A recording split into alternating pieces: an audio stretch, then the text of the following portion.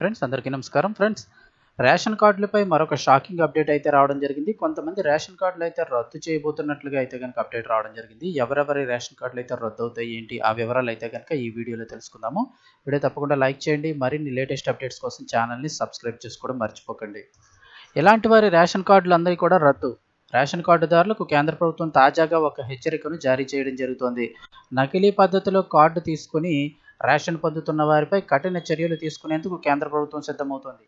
ఇలాంటి వారిపై కఠిన చర్యలు తప్పవని కూడా తెలియజేస్తోంది. తప్పుడు ఆధారాలు సమర్పించిన వారు రేషన్ కార్డు తీసుకొని అలాగే రేషన్ పొందుతున్న వారు స్వయంగా తమ కార్డులను రద్దు చేసుకోవాలని లేకపోతే స్వయంగా ఆహార శాఖ బృందం పరిశీలన అనంతరం వారి కార్డును రద్దు చేయడంతో పాటు వారిపై కఠిన చర్యలు కూడా తప్పవని తెలియజేస్తున్నారు. దేశంలో సుమారు పది లక్షల మంది పైగా అక్రమ రేషన్ను పొందుతున్నట్లుగా కేంద్ర ప్రభుత్వం గుర్తించినట్లు తెలుస్తోంది.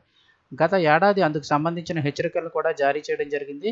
దేశవ్యాప్తంగా దాదాపు ఎనభై కోట్ల మందికి రేషన్ కార్డు ఉందని వీరంతా కేంద్ర ప్రభుత్వం నుంచి పంపిణీ చేసిన ఫ్రీ రేషన్ను సద్వినియోగం చేసుకుంటున్నారని తెలియజేస్తోంది.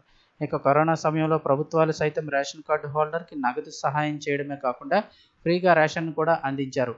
తప్పుడు పత్రాలను సమర్పించి దొంగదారుల్లో రేషన్ తీసుకునే వారికి రేషన్ సరఫరా నిలిపివేయాలని కేంద్ర ప్రభుత్వం గత ఏడాది నిర్ణయం తీసుకుంది. త్వరలోనే అనర్హులందరి పూర్తి జాబితాను రేషన్ డీలర్లకు పంపుతామని తెలియజేసింది. ఇప్పటికీ ఆ ప్రక్రియ కొనసాగుతూనే ఉందని తెలియజేస్తోంది. కేంద్ర ప్రభుత్వం. ప్రత్యేక ఇన్కమ్ ట్యాక్స్ చెల్లించేవారు అలా అంతేకాకుండా లేకపోతే పది ఎకరాల కంటే ఎక్కువ భూమి ఉన్నవారు వంద చదరపు మీటర్ల విస్తీర్ణంలో ఇల్లు ఫ్లాటు కారు ఉన్న అలాగే ఆ వారికి అలాగే ఆయుధ లైసెన్స్ కుటుంబం అలాగే ఆదాయం కుటుంబ ఆదాయం గ్రామాలలో రెండు లక్షలు నగరాల్లో మూడు లక్షల కంటే ఎక్కువ ఉంటే కనుక రేషన్ కార్డు ఉన్నవారు వారంతటి వారే స్వయంగా తమ రేషన్ కార్డును వదులుకోవాలని కేంద్ర ప్రభుత్వం అయితే కనుక సూచిస్తోంది.